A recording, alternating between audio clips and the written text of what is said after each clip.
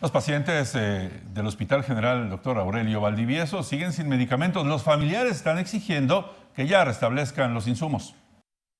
En junio de 1965, el Hospital Civil Aurelio Valdivieso fue inaugurado en la sede que tiene actualmente. De acuerdo a datos hemerográficos, este espacio se instala para brindar una mejor y amplia atención médica. Pese a esto, y ante el crecimiento de la población oaxaqueña, este espacio se ha visto rebasado en la atención que puede otorgar, generando en la actualidad carencias de insumos, siendo los familiares de los pacientes quienes tengan que cubrir los costos de estos productos. Tal es el caso de Zenón González, quien desde hace 10 días tuvo que ir adquiriendo poco a poco los insumos para la atención de su familiar. Pero con lo poquito que traemos, este, nos está costando 3 mil pesos este mío y es sobrepedido.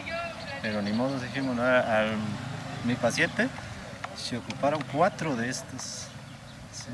Entonces la atención para los médicos sí son buenos, pero todo el material pues hay que comprar. ¿No tienen insumos? No.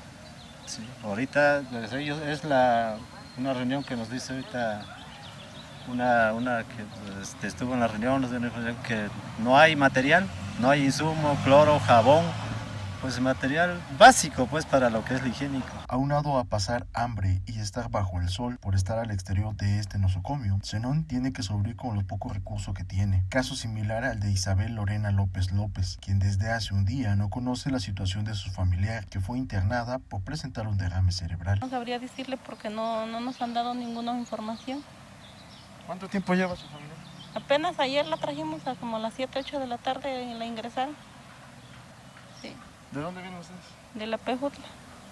De la P, Ejutla. Ante estos señalamientos acudimos con la directora general del Hospital Civil, Eugenia Ruiz Dávila, y explicó que no es que no existan insumos, sino que son insuficientes para la atención diaria del hospital, siendo la operación con lo que le otorga la federación. En este momento este, nosotros dependemos de del abastecimiento, más que todo que nos da el Estado, pero que son insumos que vienen de la federación. El, presupuesto que manejamos es mínimo eh, para poder comprar las necesidades este, adicionales a lo que nos dan.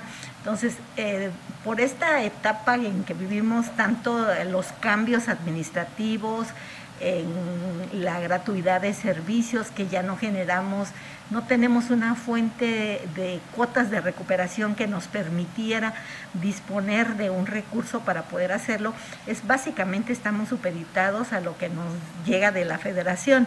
De acuerdo a la directora del hospital, se mantiene una atención diaria de urgencias entre 30 y 35 casos y en ocupación máxima de 120 camas. Para las noticias, Carlos Alberto Torres.